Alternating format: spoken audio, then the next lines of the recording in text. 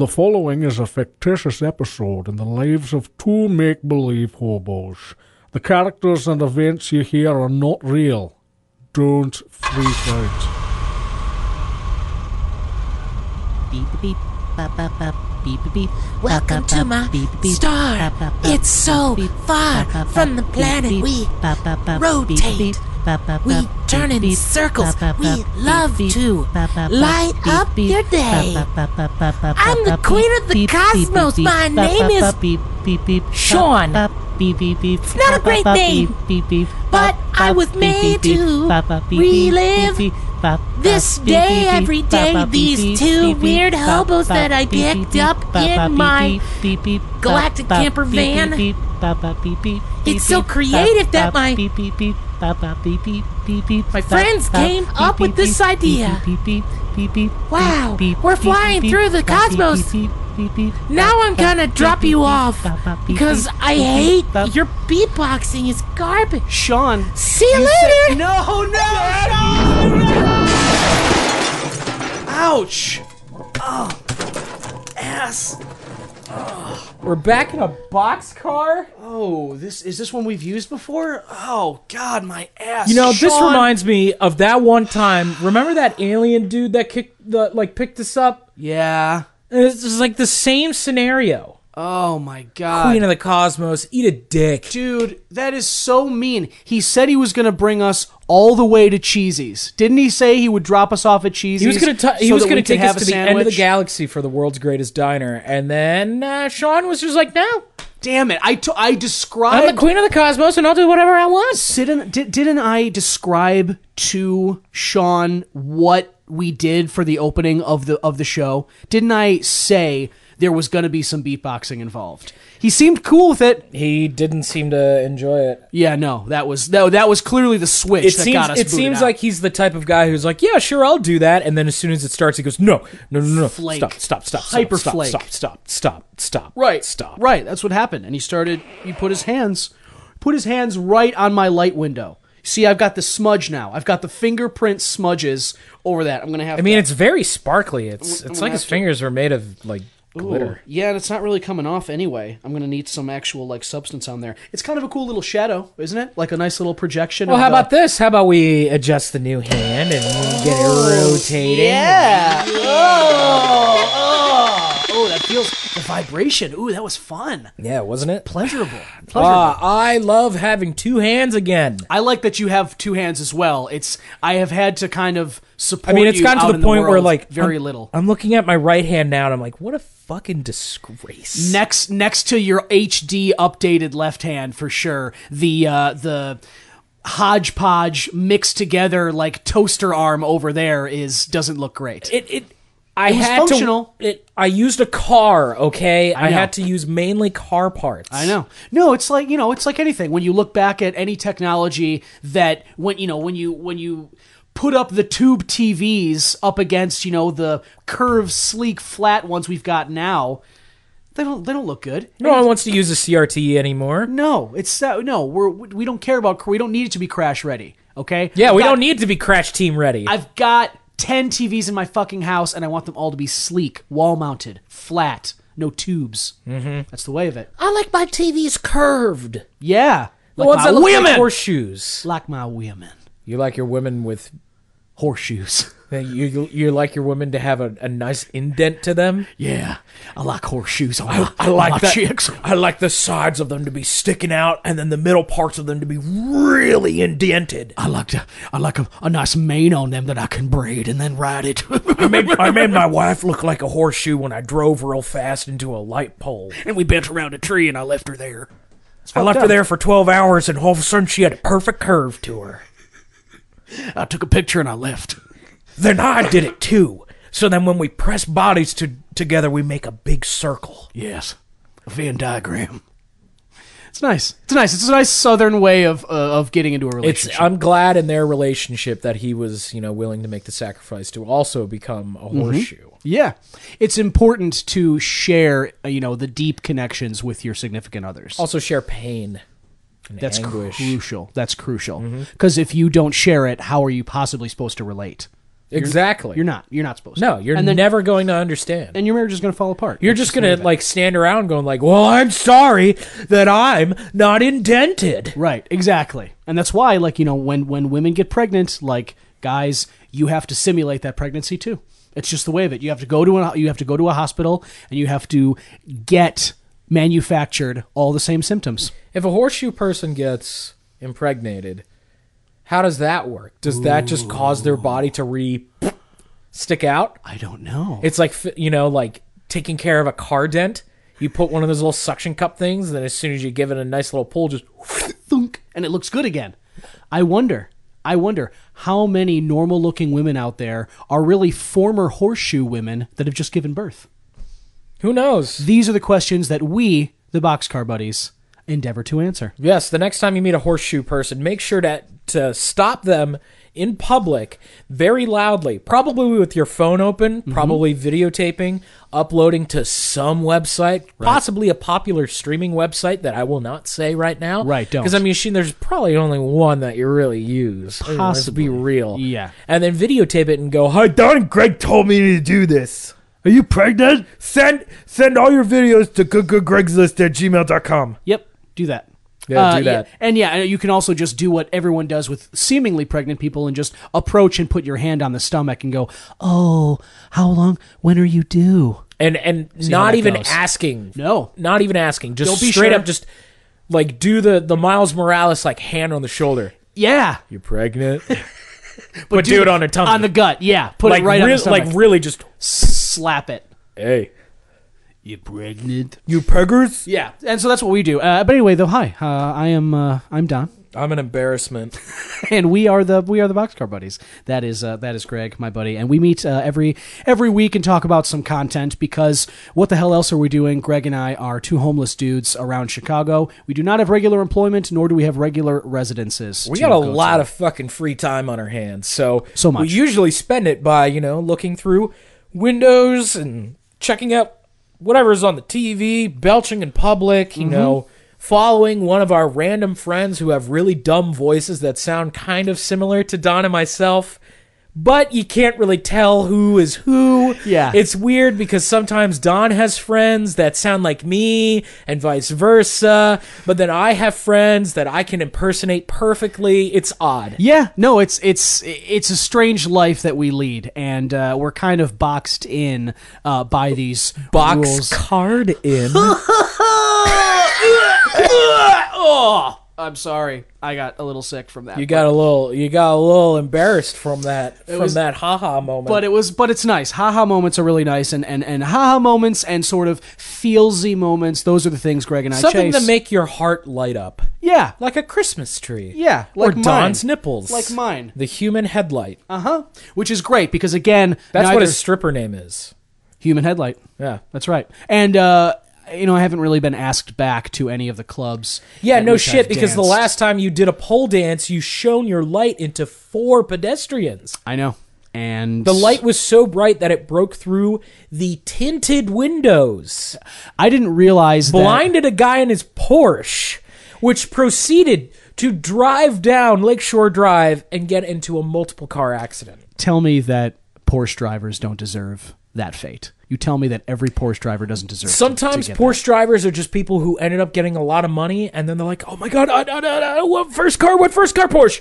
Right. This is just a Porsche. Porsche. Uh, uh, uh, this is the one. that. Maybe they were like flipping through a luxury car magazine and was just like, uh, this one, and then they blindly put a finger on it, and then it ended up being Porsche. Yeah, I you're mean, right, I do you're the right. same thing whenever I get my hands on money. I get like twenty dollars, and like, oh, what would you like from our restaurant? Uh, uh, uh, ice cream. You do end up on ice cream a lot, though. You really do. I just think it's interesting that you're you say your eyes are closed and you and you end up picking ice cream a lot of the time. I mean, ice cream's good. Coincidence. I'm a lactose intolerant, so I don't get down on ice cream without consequences. AKA Don is a big bitch lord. Otherwise, I'm super tolerant for the most part, but I do not tolerate lactose. So Just intolerant Yes. of other people's cultures and ice cream and the Dutch. yeah, the Dutch yeah, they're fucked up. Okay, they talk in strange ways. I have no interest in, in associating with them. But that's those are some of the stories. Uh, we we chase better ones, but those are some of the examples of stories that Greg and I do like to chase uh, when we're seeking to escape from the cruddy, barnacle encrusted story that is our lives. From the claws of reality, weighing us down with its big black feathers. That's right. Yeah, coming to pick at our corpses, which is what black feathered creatures do. I think Pick out our eyeballs. Probably screech a couple times too, going, ah! most likely. Most likely. Uh, but anyway, though, uh, in the spirit of continuing our you know typical discussions, I did absorb some content uh, last What week. What did you absorb? Well, uh, so I went to I went back to Stony's our friend, the Stony Island feeder. Uh, I went back to his domain, which is, as we know, is in this met- metallic dome uh, just off of the uh, Dan Ryan It's like a Donkey Kong hut made of metal. Yes, and it's it's melded together. It was welded by God knows who, probably several different people, but it's like a collection of manhole covers and street signs and any and just anything metallic and all melted together in a big Even dome. even better of a description. It's the Animaniacs water tower. Yeah. For this disgusting, weird ass Scottish guy. And he has a lot of friends that you might be surprised to hear are even lower class than Greg and myself. That's they are true. Definitely bottom of the barrel of humanity. Like, where in the world did you come from, man? Those are the kind of people that find their way to Stoney's uh, domain. But as I said, they do that because Stoney's good and he gives a meal to. Uh, the majority of the people that come through. If you're hungry like we are and stuff, you have to trade some random stuff. I mean, Stoney's uh, parameters for what he accepts are pretty varied. You know, I, there's no telling why he wants gags, like putting ball gags into dudes. when, uh, used. he he'll always take a used ball gag, which he's the only person I know who will do that. But uh, never cleans it. That's part of the punishment. traffic cones, he's big into traffic cones. Uh, vests, he's really liking vests now. So that's what I Like traded. straight in. jacket vests. Like No, uh, like leather specifically, leather vests. Oh. Yeah, he's always, so I, I found a couple of those, um, patchy, you know, and torn in areas, but he still took them. I think probably covered just- in patches too. yes, Like it, like a TGI Fridays kind of vest. yeah, it was some flair. It was definitely some flair to to those vests, It's a individualized. spicy vest. It you can almost still smell the bloomin' onions on on the thing. It was you Smell those those uh, steak fajitas and that Jack Daniel's barbecue sauce. a shitty watered down cocktail that came. Today's episode has been brought to you by TGI Fridays. Make sure to get some loaded baked potatoes inside your fat, disgusting body. right, and remind yourself to go somewhere better next time you're out to eat. Make sure to eat somewhere decent, unlike TGI Fridays. Spend the money if you want your relationship to last. because every day here is a mistake. That's right. Thank God we left. That's really that should be the motto. Thank God we made it out of there. Until Guy Fieri comes up to your home, bangs on your door, going, "Hey guys, you want to try my fajitas?" Come to Flavortown with me. that he force feeds you with disgusting, disgusting like refried foods. Yeah, just keeps you as a hostage in your own home for like four days, and just much like that stuff. Stony. Does that too in in his own home. Uh, once you go there, f- in exchange for the food, there's no telling what you're going to have to do or how long you're going to have to stay. I myself was there for three days this time, but I also have somewhat of a rapport with Stoney. So I I went there and. Um, I went with the uh, disgusting friend I have, Charles Chucky, the the guy off the snotty ninja. snotty ninja who is very quiet and really does he does come across some very interesting items because he spends so much time on the docks and the ports like in Lake Michigan. And so he he just cleans up like the ocean like that. So he comes across a lot of stuff and I've introduced him and Stony and um, I I brought him along with me because Stony like kind of likes the dude for whatever reason. And uh, Stony likes anybody that ain't me. Yeah well that's that's also true And, uh, Jesus Christ Chucky Oh my don't god! don't sneak up, man. I fucking told you. I said I'd invite you, but I said announce your presence too. We got to get a bell on this dude. Uh, this, uh, you know, the bell thing, it's not really for me. Understand? I just wanted to come in and say hello to you fellas, okay? For someone who is so snotty, you breathe so quietly. Uh, I've learned how to do it. You know, my Stop mom, talking, My mom please. told me Stop. at the table she Stop it. me how to. Yeah, Just that's better. Stop. Greg, yeah, keep your, your hand over that mouth. Anyway, though, uh, And disattach the hand. There. Engage grip mode. Okay, great, thank you. Anyway, Chucky, uh, he came here because I, I brought him with me to Stoney's, and we um, we watched the movie that I'm going to tell you about together. Uh, after uh, they these two exchanged some items, um, we all sat down. Stony made some hamburger helper, um, which you know I'm not to complain about it. Hamburger, it's it's okay. It's fine. It's food, takes up space. It's every uh, stay-at-home parent's go-to meal, Absolutely, it's in a box. Only takes like ten minutes. or single dad right? Specifically, for sure. specifically. Ham- they I don't know why Hamburger Helper doesn't lean into that market. You know what I mean? Like just advertise. You know? Listen, the wife took the kids. Well, how about you take a box of hamburger helper with you? Life's got you down. Hamburger, help yourself up. Make it will help the pain go away for only a few minutes. Don't forget the leftovers. right, right. And return with a vengeance later when you get to the bathroom. But anyway, though, so we're Do you like cheese? Single dad? well, cheese is going to be bleeding out of your orifices. Well, sir. Jesus Christ, can I tell you about our new uh, chicken Alfredo? A fucking like glove is hovering over a dad Right. in the bedroom by himself. Don't cry, just eat hamburger helper. Right, right. No, no, seriously, don't cry, don't cry, and then just muffles his mouth, kind of like uh, like what Chucky's got glove, going on over the here. glove gives him a little kiss. Yeah. It's okay. I'm here. I'm here for you now. And then things get it really s- intimate And then the it glove. slips slowly below the camera screen and uh, cut to black. Turns out this dad just went crazy and started fucking his gloves. And force feeding his kids hamburger helper every week. But yeah. Every other weekend, yeah. Yeah, right, because that's what he's allowed to do. Exactly. Court, It's the court order. supervised hamburger helper dinners. Yeah. Uh, so anyway, though, uh, what we watched at at Scummy or at Stoney's rather was um, A Star Is Born. That's the movie that uh, that Stoney had acquired. Is that Some- that Lady Gaga movie? It is Lady Gaga, Bradley Cooper, and it's a movie that uh, we had some discussion post uh, post viewing, and I found out that uh, this is actually the fourth time the movie A Star Is Born has been made. Wow. It was made twice between the 30s and the 50s, and then in the 70s, I believe, uh, with Barbra Streisand playing the role that Lady Gaga played. But Yep. so basically.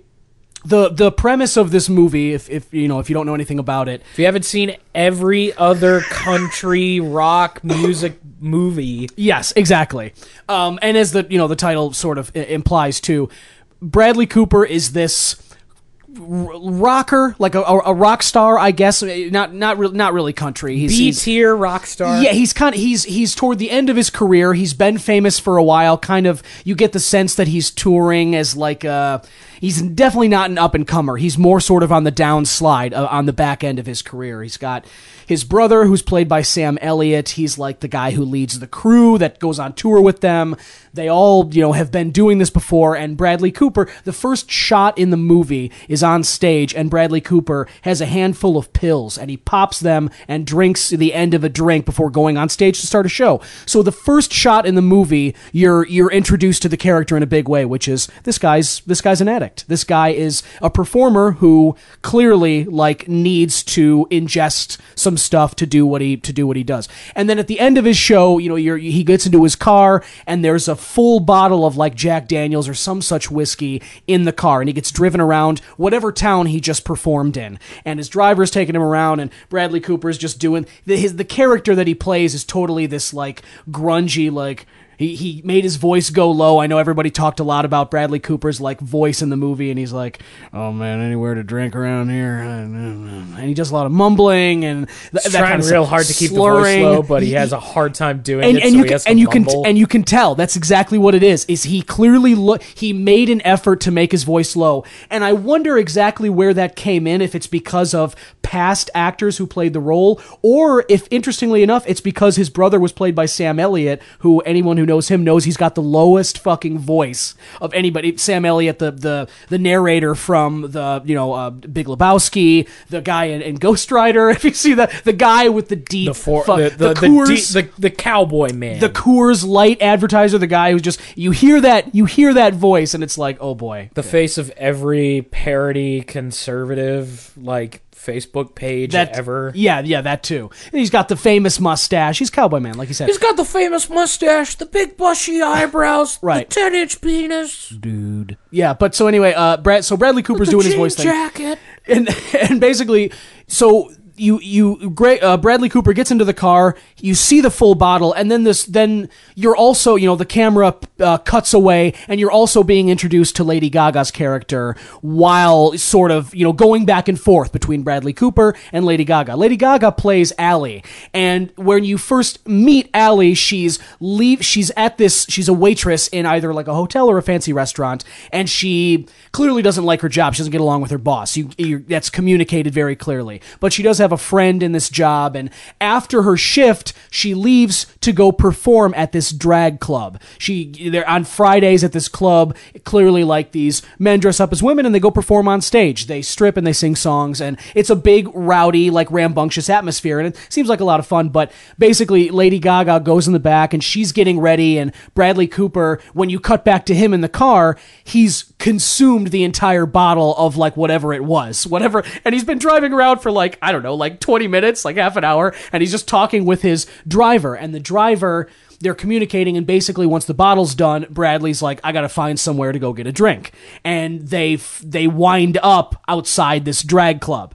And so he goes in there uh, as he gets out of the car someone recognizes bradley cooper as you know whatever his name is jack something. And so he's just like oh, oh my god he like takes a selfie with him. He's like dude and then you know he, he he starts selling bradley cooper on the drag club. He's like come on in here. And he's just like oh he's like he's like you might he's like i don't know if you'll like the the entertainment. And bradley cooper's like uh, uh, can i get a drink? And the guy's like yeah he's like that is my kind of place Are you just know gonna what I mean? reenact the whole movie? For no me? no no no no i mean i, I, I could if, if you'd like i mean we, we got some time right yeah but Let's just sit here and just go let minute me, by minute. Let me t- let me take you through the entire. Let me tell you the A Star Is story. Born. But but anyway, anyway, I guess just my point is that like so they meet in the drag club. Lady Gaga sings her song. Bradley Cooper and the whole club is moved because Lady Gaga has a, an incredible voice. So she sings the thing. She crushes it.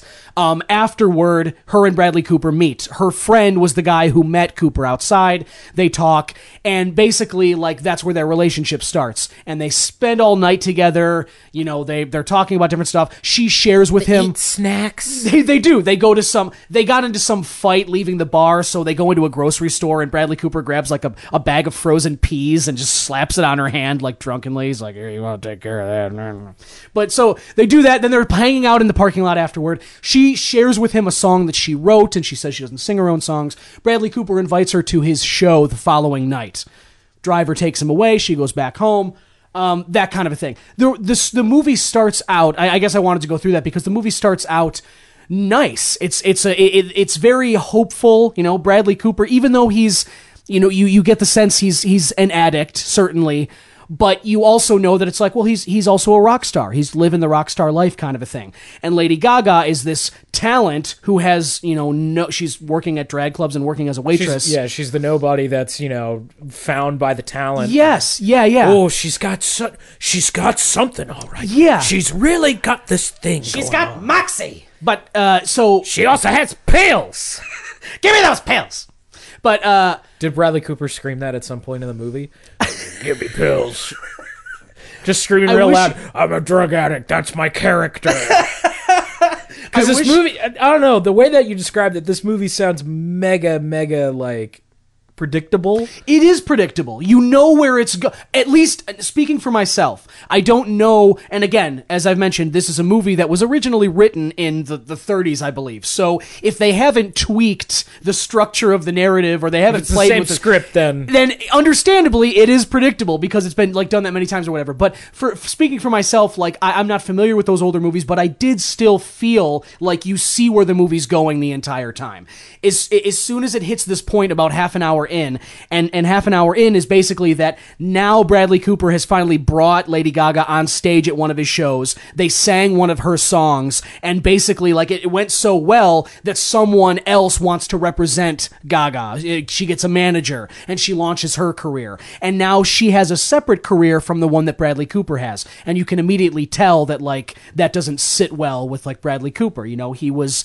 doing something She's for mine. her. Yeah, She's mine. Kind of, yeah, kind of th- that whole thing. And, I pull the leash around here. Right, right. And and so the movie goes on from there. But just kind of talking about it as a whole, Lady Gaga, she can she can sing. Everybody knows that. She blows true. she blows it away. She does gr- the parts of her singing in the movie are some of the best parts of the movie. They're the most evocative, like emotionally. You really do feel that stuff.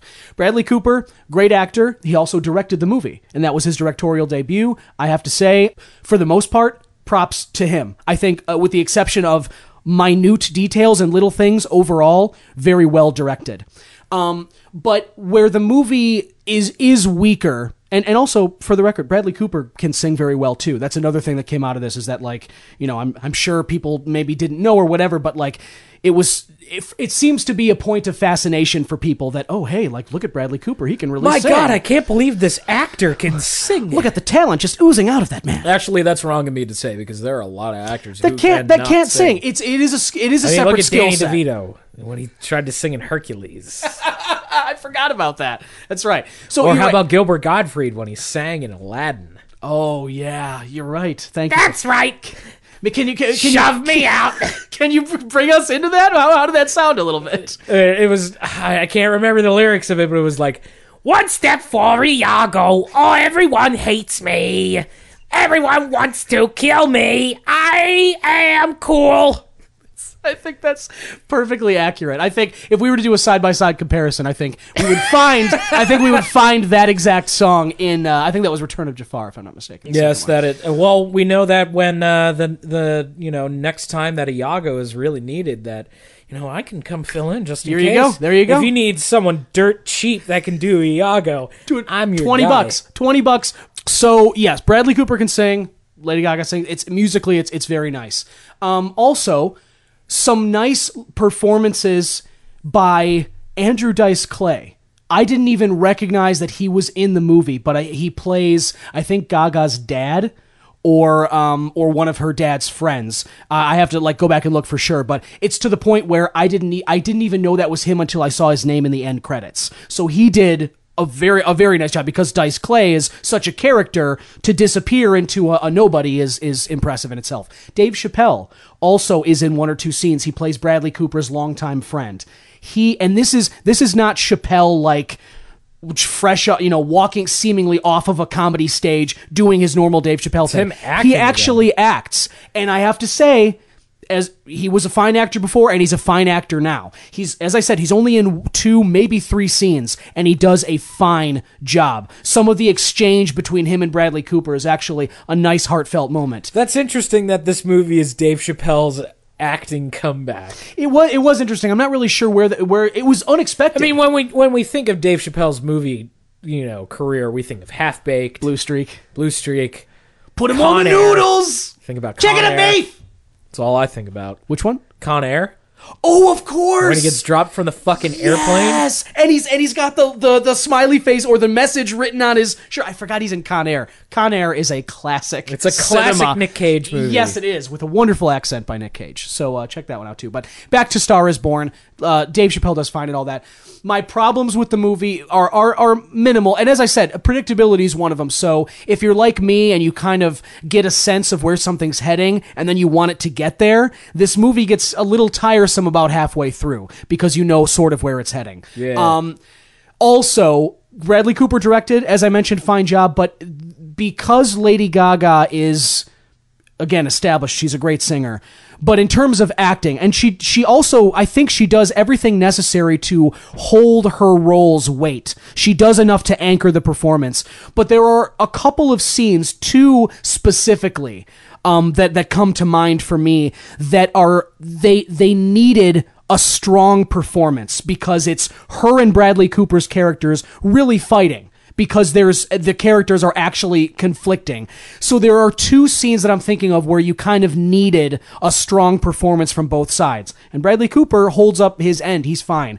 But they did something which I suspect was a, a tactic or a technique to make it easier on Lady Gaga, which was to go a little off script. It was more improv and them going back and forth to try and sort of coax the reaction that he wanted out of Lady Gaga. And for me, when I could tell that that they were doing that and they were off script, it took me out of the whole thing. Right. So there are there are a couple of scenes where they talk and it's a little the the weakness I suppose or the inexperience on Gaga's part. It, it, it to me at least that kind of was obvious and it took me a little out of it. But um, I, I don't want to spoil it because it's a, it's a movie that if you haven't seen, I think you should. So I won't talk about where it ends and everything, but um, it, it is it is certainly evocative. It made me feel things, and it stuck with me afterward. Um, you know, I can say what I want to about, like I said, like this sort of little nitpicky stuff that were that wasn't great, but overall, in terms of a movie experience, in terms of a story with characters that make you that take you outside of yourself and kind of make some impressions and maybe make you learn something. This movie accomplishes all of those things. And at its core, where it's, as we said, it's this superstar who discovers unknown talent and then brings it into the light and it blossoms and all that. That's a nice narrative. That's a nice tale that I think most people like feel something watching for and and the movie still holds true to that so it's it's definitely um it's definitely worth watching for that case. It's um if you can catch it, it's still in theaters, I'm pretty sure, and if you can catch it, you know, on the smaller screen, it's worth that too. But Bradley Cooper, Lady Gaga, A Star is Born, 2018, worth your time. Nita Reno. Yeah, check it out. It's fun. Dang. Well, hello there, big handsome. Hi. Hey there. How's it going, guys? Freak, what brings you here? What's happening? Greg asked me to bring Chinese food. Oh my god. Yes. Yes. no, Chucky, you cannot have any of those. I, uh, I do feel kind of bad. He can't really put anything in his mouth right now. Can you even taste anything like with that with not not with the hand over your mouth? I know Stop that. jamming food on my hand. All right, retract hand. Oh, thank you so much. Oh, I can finally breathe again. Yeah, I, I can't really taste too much, but I am hungry. I could. Ju- let me just have an egg roll. Let me just have No. an egg roll. Oh, oh, oh. This Yeah, is mine. Stand back, uh, Chucky. Listen, I'm gonna eat some stuff, and maybe I'll just I'll feed it to you like some scraps off my plate, like a Sorry, dog. if I okay? knew that there was a fourth person involved, I would have brought more food. It's not your fault, freak. It's we weren't expecting to necessarily have a fourth person. When the meal came, I didn't even know you were bringing food, and that's okay. Yeah, it's okay with me too. Let me just get in some of this bourbon chicken here. I gotta just take that. Get- Get out! Get off of my plate. So, Fucking weirdo. It's a mouth breather. It's a mouth breather. Yeah. I, yes. You. Listen, uh, you you go to the corner. Get away from the mic. Disgusting. Go to the corner. Stay there right now. Freak. Pop a squat. There you go. All right. Actually, it's great that you're here because I was about to talk about the thing that we did this week. Oh, what'd you guys do? Oh boy, what a fascinating tale. Now, freak. I can never really tell when you're being sarcastic. I'm Is being it fascinating? sarcastic. Thank you. Okay, cool. So it wasn't. Just make sure to scream sarcasm when you're ha- you know when you're saying something sarcastic. We we need that from you, freak. Fine. Sarcastically. Does that work for you? It does. It's like stage directions, but in real life. It's perfect. it's like Keep listening to up. the the Elcor from uh, Mass Effect. Yes. Right. The ones disappointed. Yeah. Yeah. They s- yeah they speak they speak directions. In fact, Freak, if we were Mass Effect races, you would definitely be an Elcor. you totally would. I don't know what Mass Effect is. It's a compliment. This is a compliment. I, I'm sure it is. Oh, I'm, just- I'm gonna eat some. I'm gonna eat some of the uh, b- uh, broccoli and beef here. But uh, yeah, well, Freak, how about you give a little rundown about what we did together? I wanted to reconnect with Greg because we have been having kind of a falling out for the last few months. So I invited him back to the free clinic. As long as he doesn't destroy our basements, he can stay. Nice. And I willfully accepted it. It's a nice arrangement. You promise no more wrestling, right? Uh, that depends if the killer whale comes. You keep talking about this guy, and I've never seen him. I say that all the time, freak. They're definitely the same. I person. sneak him through the windows. BS. Those rooms have bars on them. How do you. How? Because he's the, the world's fucking greatest one-armed wrestler. He just latches onto the bars and, and You know, I think then I, he bends it back when he's leaving. I think I read something interesting that the world's most famous one-armed wrestler now has two arms, if I'm not mistaken. I didn't know that. You know, Really? he's on tour right now, so anything could be possible. Huh. I'm sure he probably disemboweled some guy's arm and just placed it on there and went, "Yes, I am the killer whale." Ha You ha. think you think so? That sounds very unlikely. I don't know, man. Well, either way, he's on tour anyway. Well, in any case, because Freak and I were reconnecting, we thought the best way to reconnect our hearts would be to journey somewhere. Hmm. Some vast worlds. Somewhere old, but new at the same time. Something charming, hmm. unique. Little cringy. Shut up. It's no. You, you set us up already, freak. Thank you. Thank you for the food, though. By the way. In any case, Freak and I, we booted up his PlayStation and we played some Kingdom Hearts 3. oh, jeez, you okay? Yep. Oh. Here, allow me to assist. No, I already got it out. I already got it out. Whoa, he just used his spirit fingers. Oh, oh, oh my god. That feels pretty good though. Do you feel better? Do you feel one with the cosmos now? I do. Yeah, thank you. This is nice. But do ta- you can take the tendrils out of my uh, out of my chest. I think I'm gonna Fair clear it out. enough. Okay. Ooh, thanks, man. I don't think we really ever explained how your spirit detective powers work, or the fact that you're also a doctor. Yeah. It's I have to have multiple jobs, you know. Even as a doctor? Even as a doctor, it's a free clinic. Yeah, you're right. Not really making a whole lot of money. It's Understandable. basically charity. Yeah. Which we appreciate, by the way. Thanks for letting us go there. Myself, certainly. You are always welcome, Donald. Thank you. Greg, you're pushing it. Sarcasm. Nice. Nicely done. Yeah, Good, good on. joke. So how was Kingdom Thank Hearts you. 3? So, Kingdom Hearts 3, the latest in the Kingdom Hearts.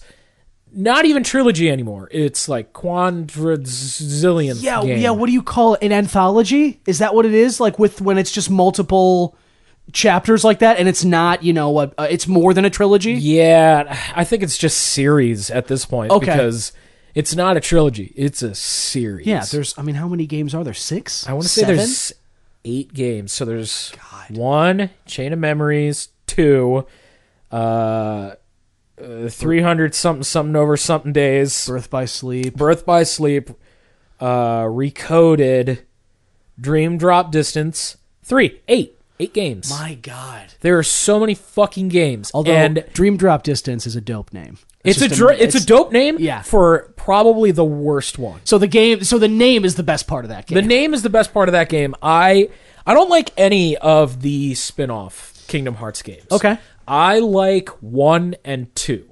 I like 1 because it, it's a cute, charming story. It's well-rounded. Combat is fun. It's not amazing. Right. Like the platforming in that game fucking blows. The platforming is hard, a- a- aggravatingly so. Again, not hard because it's designed to be hard. It's Hard, because, of it's flaws. of poor game design. Yes, yeah, yeah, but Uh, but it's also nicely coated, thickly coated in some nostalgia. So Yes. that's that's what really appeals about Kingdom Hearts. Yeah, and then two, I think two has the best gameplay in the entire series. It had with the final mix version out now on uh, PS4 or PS3. It's got so many extra bosses and extra challenges that make the game just so fun to play and actually challenging.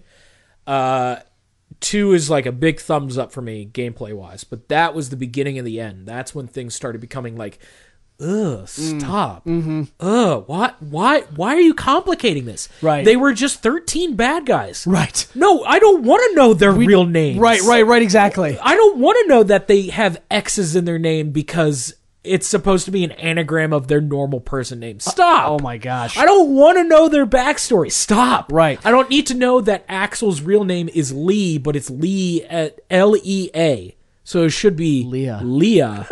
or Leia, Right. But it's pronounced Lee. What the fuck is happening? here? Right. So I, I to that point, I've only played Kingdom Hearts 1 and 2. I haven't played any of the spin-offs, and I'll tell you, You're better off. I know I loved 1 and I liked 2 a lot, but I was already lost as you mentioned. Yep.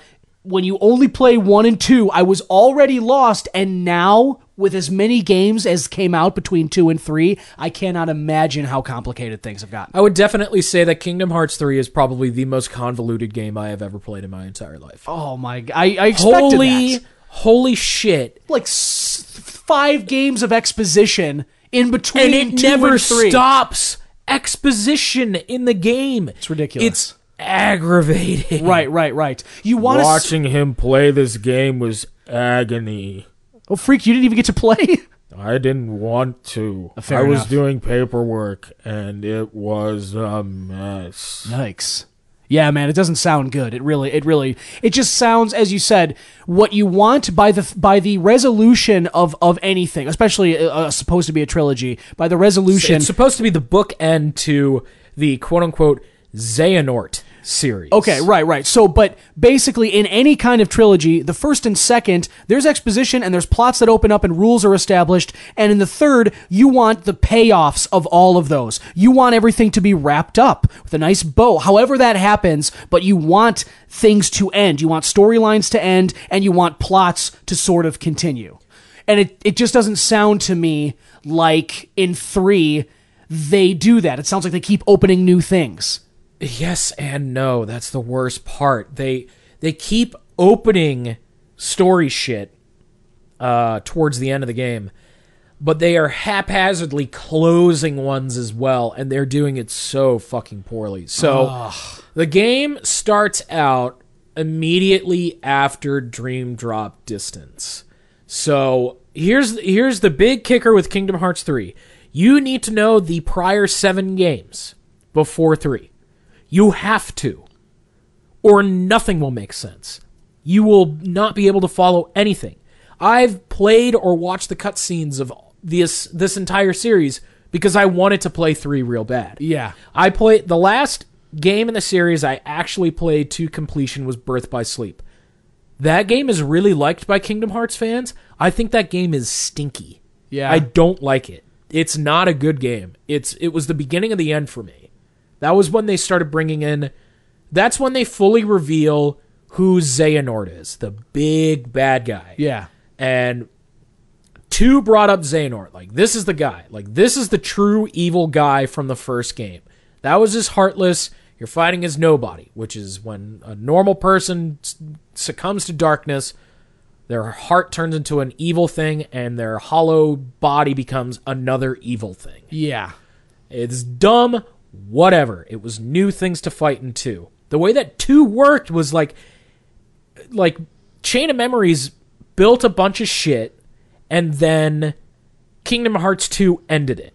And that's why I was fine with 2. Like 2 was convoluted, but like at least it wrapped its shit up. Like here are 13 evil guys. All you need to know is that they're evil and you kill them. Right. That's it. There's no such thing as consequence in this fucking series, and it drives me up a wall. Like, every single villain from 2 is back. And they're either brought back as normal humans and they're using new names, and they have to constantly reference, oh, hi, I'm Ienzo. I was formerly Zexion. Oh my god. And that shit is constant. Here, here's the thing too. It, like even after a cutscene happens of that happening, he'll bring it up again towards the end of the game. Ah, look, it's little Zexion, or you go by Ienzo these days. and and and what's goofy to me is that it's like it's so it's complicated enough that they do that re-explaining and reintroducing who somebody is and that's complicated for people of our age group and kingdom hearts obviously goes for a younger audience too it I- goes for a younger audience, but the problem is now Kingdom Hearts has been around for fucking 15 years. Yeah, yeah. So the target demographic of fucking Kingdom Hearts is adults. Yeah, yeah, but I still can't even imagine, like, because there are going to be younger kids that buy these games. Can you imagine trying to figure out that kind of convoluted narrative as a kid? Yep. Jesus Christ. I, I had a hard enough time doing that with two, but now think about like two came out when was that? 2006? My God, Two, it's, yeah, yeah, yeah. it's been 13 years since the last numbered game. It's crazy. But in those 13 years, there's been a shit ton of games, and they're not good, Right. in my opinion.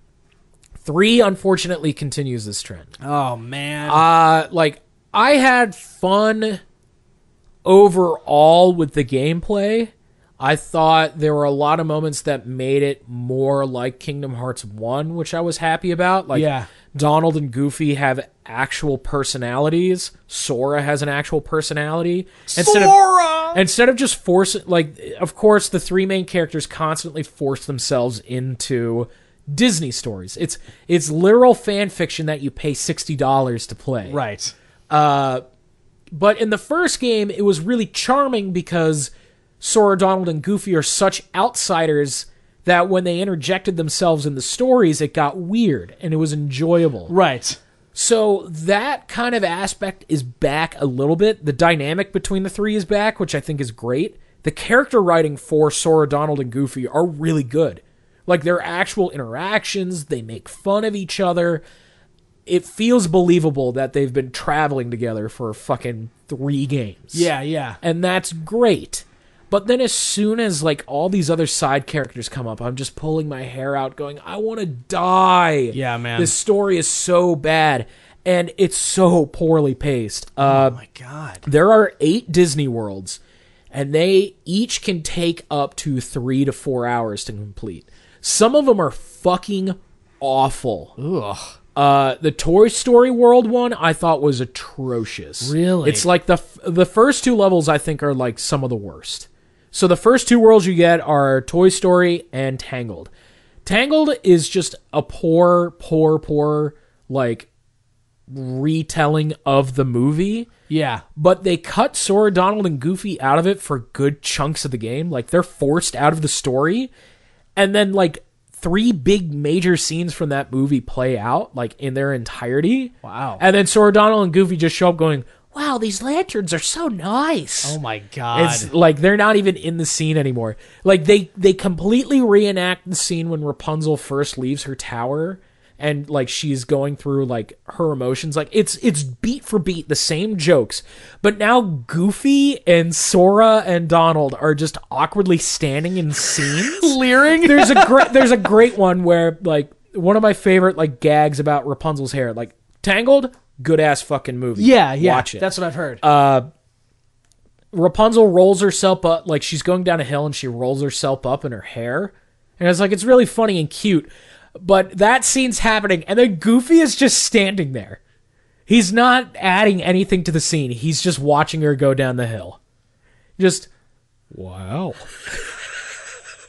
it's so bad. Yeah. And most of these worlds are excruciatingly long. Yeah. Toy Story World, I think it had some strong writing. It had most of the voice cast like the the impersonators they had for Woody and Buzz were really good. Yeah. The the Tim Allen impersonator was like, "Whoa." Spot on. Whoa, this guy. Uh and then the guy who uh replaced Tom Hanks is his actual brother. Colin Hanks. N- Uh no, that's his son. Colin? Hanks is his son. I thought Colin Hanks was his brother. Colin Hanks is his son. What? No way. Yes. Thick. No way. Look it up on my hand. Oh my god. All right. I'm Colin Hanks look is it up. his son. All right. All right. Well, so who's his brother then? Uh, I can't remember his name. It's like Fred Durst. Fred Durst. Yes, it's the Fred Durst. Limp Bizkit doing his best Tom Hanks impression. Uh, but like the writing in that world is funny. Like Rex is a part of it. There's an obvious gag to like how Nomura, the, the director, felt about him being kicked off Final Fantasy 15. Uh huh. Like that that game is a fucking disaster. I don't blame Nomura anymore. After reading the backstory of what Square Enix did to him, Yeah. and then for them to take that game away from him when they constantly pushed him to make other things, I'm like, yeah, I'd be fucking pissed too. And because of that, there's no Final Fantasy characters. Oh no. So you won't see Squall, you will not see Sephiroth. You can't fight Sephiroth. that sucks, man. That was such a rewarding That's fight in the first game. That's like the point of Kingdom Hearts. yeah, it's amazing. I want the Final Fantasy characters. Like Nomura is so salty about 15 being taken away from him. He changed Riku's character design to look exactly like Noctis. His keyblade is a car key. Oh my gosh. Yes. That's how salty he is about losing 15. Colin Hanks is Tom Hanks' son, by the way. Told that's, ya. That's interesting. Yeah, I told no. I, I just didn't think I didn't know that they were that far apart in age. Yeah. I, I I had no idea. But Colin Hanks born in 1977, so wow. Wow. Wow. Uh, but in any case, like some of these levels I think are really fun. The Monsters Inc. world I had a lot of fun with. Uh, the Frozen world can eat a dick. That world sucks. That's the worst level of the entire like series. Uh, they play the entirety of Let It Go.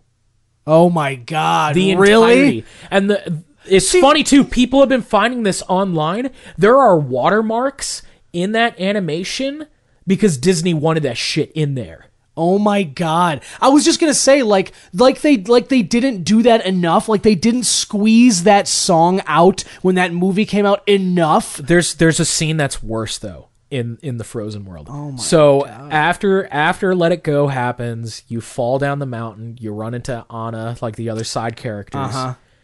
and it starts playing. Do you want to build a snowman? Okay. But but then Anna starts talking over the vocals with no like they don't lower the music audio. Oh my god. So she's co- she's competing with the song. She's competing with the song. oh They're playing at the same volume. And if I didn't have subtitles on, I'd be like, you wouldn't understand it. "What is this?" Sora and Goofy, thanks for coming.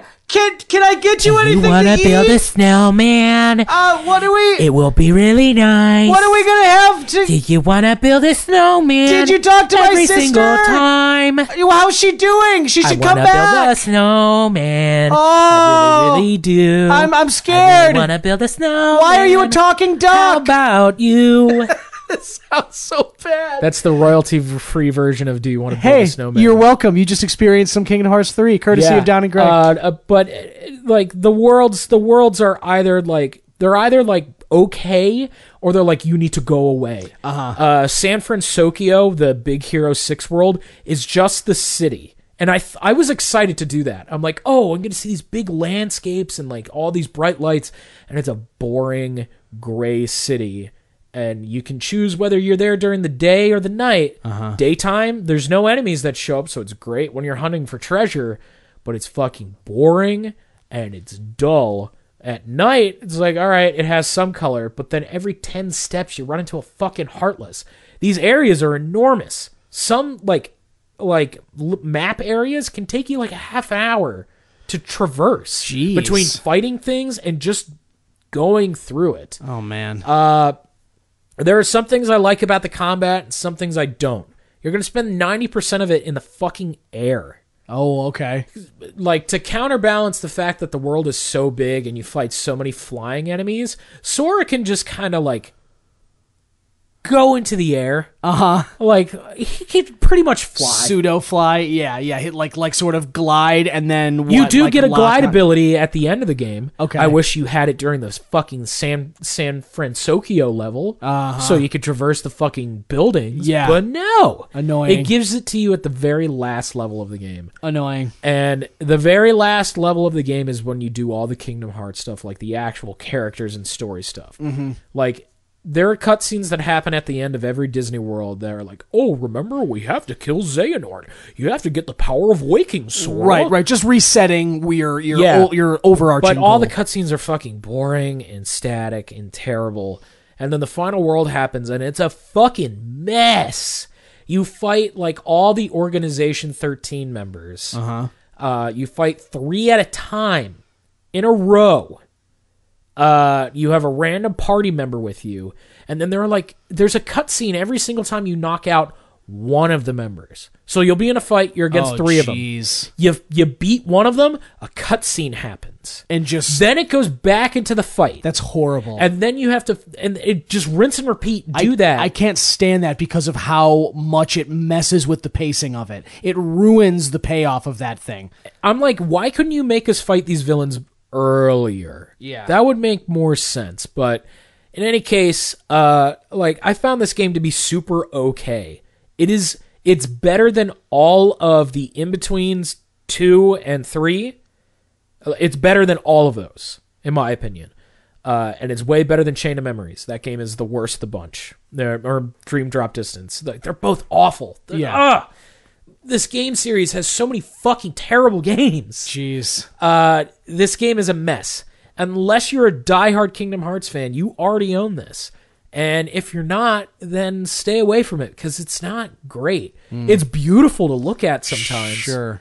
But, like, from an outside, if you're an outsider, no. It just sounds like Absolutely not. it just sounds like you have to work way too hard to stay on track with the story of this game and to enjoy any the pacing kind is of horrible. any kind It's of so payoff at the end. So that's what it sounds like to me. like you can go for hours just doing gameplay and then and then 2 hours of cutscenes or vice versa like you'll start a world and then all you're doing is cutscenes that's what olympus was Yeah. the very first level you do it's just like non-stop cutscene after cutscene after cutscene after cutscene then you fight something and then more fucking cutscenes Jeez. it's aggravating. Uh, like the, the Keyblade forms are cool. I think it's cool that you can use any Keyblade in the game. Like in the old games, as soon as you went to a new world and you got a new Keyblade, you're equipping that. You're Yeah. not. You're not using any other weapon. Like, Right. there's there's no point. It has better stats and no way. In this game, uh, you have a Keyblade Forge, and you can basically synthesize with all of your Keyblades and make them all progressively more and more powerful. So you can finish the game with the standard Keyblade, which I think is dope. Too bad that I think the rest of the gameplay is really fucking monotonous. Yeah. Like, you have these reaction commands that pop up, not like how they did in 2, where like there's a specific one for every like heartless you fight or boss fight. This time around, it's like you do super attacks after you attack long enough. Like with certain keyblades, they turn into new weapons. Like you, the Toy Story keyblade turns into a giant hammer, and then if you keep attacking with that, it turns into a drill, and then you can do a big finisher move Oh, okay. Uh, little Battletoads element to it. Sounds a Sounds little like. bit. Uh, and at on paper that sounds really cool, but it makes the game so fucking easy. Oh. Like once once you find your three keyblades that you're gonna stick with, Yeah. you don't need to do anything else. I use the the main keyblade, like the Kingdom Key, the Pirates of the Caribbean one, and the Monsters Inc. one, and I just did not feel any need to use any other keyblade. Mm. You can cycle through them in battle, which is dope. But then there are these stupid like amusement park summon abilities that just oh. randomly show up. Like sometimes you'll see a heartless that has like a green lock on it. Uh-huh. If you attack it, you can use a Disney park, like a Disney World park uh, amusement park ride attack. So like you have a pirate ship and mad teacups, and they're long, they're not useful, they're obnoxious, and they use the same button as opening treasure chests. Oh. So if you're trying to open treasure and you have that icon up, whoops. Yikes. That sounds really frustrating. It's this game is frustrating as hell. Like Man. it's not the worst game too, but I have so many gripes with it. There are Yeah. way too many gripes than praising. Right, right, right. So overall, if you when after you do the math, it comes out in the negative just because there's too many. Yeah. Gotcha. Yeah, But yeah, I, I think a- that I think there's one moment in the entire game where I was like, awesome. There's it's the very last boss fight. Sora's like, oh, I'm gonna fight this guy alone. Don't worry about. it. He starts walking, and then Donald and Goofy just walk right alongside him, and they quote the first game. I'm like, Oh wow. Right. uh, I'm like, you know what? That that got me. Yeah. you got me. It's nice. And then this clusterfuck boss fight happens. Uh huh. Man, So there's there are genuine payoffs woven into it, but it's there's a lot of garbage Yes. around it. Kairi is still garbage. Okay. Okay. She's still straight up garbage. Right. She has no character arc. She has no redemption. Right. She's turned into another damsel in distress. Right, right. Again. That's that's what I that's what everything I've read about the game is just this game that is, Kairi is, is, just, so bad at writing the female characters. Yeah, she just breathes and like Sora just runs halfway across the galaxy. Kairi! Yeah, yeah, exactly. And just nuts. Sora! Yeah, yeah, right. Yeah, but uh okay. Okay, so Kingdom Hearts 3 frustrating. I give it a I say skip it. right. If you're not a diehard, if you haven't played all the games leading up to this Absolutely already, not. don't Absolutely not. If you're if you're like a diehard fan of the series, I think you'll enjoy it. uh, but I don't think it's anywhere near as strong as one and two. Gotcha. Okay. Well, there, there you have it with Kingdom Hearts three. And uh, for me, I say Star is Born. It is, uh, it is worth checking out. It's worth your time, especially like you know, it's it's around Valentine's Day. You know, like right now when we're recording this, it's nearby it. And if you got a date night or something, Star is Born is definitely in that. Or you can listen to these two losers. You could. Sarcasm. Fuck you, freak. Some people like us. Okay. Are you gonna eat this Chinese food? Man, you fucking rambled about. I, I ate Hearts. I ate plenty of the beef and broccoli, and I'll have you know I'm saving a bunch of this for the rest of this week. You brought a feast, man. I'm not just gonna like burn through all this right now. We've got I am.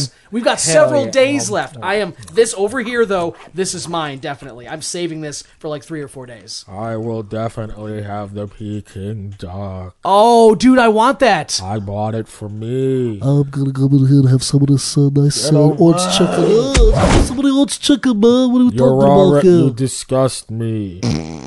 Oh, come on, ew. All right, listen. Uh, well, let's Be take. gone. Be gone. Vanish from this I boxcar. don't like what you're doing right now. Whoa. What did you do? Freak, did you just like open up a dimensional rift? Like, what the hell? I sent him into the subspace emissary. I have abilities to go there whenever I please. What? You're telling us this now? Freak, this is I gr- thought you knew. This is I'm great one with the spirits. Dude, we're gonna have to make use of that. I actually want to go to this subspace emissary. Can you send me too? Very well. Let us go. All right. All right, thanks so much. Uh, like we said, Kingdom Hearts 3 and uh, Stars Kingdom Hearts 3 Avoid, Star is Born. Check it out. All right, guys. Talk next week. Catch you on the flip side. All right, here we go. All right. Are you ready? Now let us hold hands. Okay. And chant the magic chant.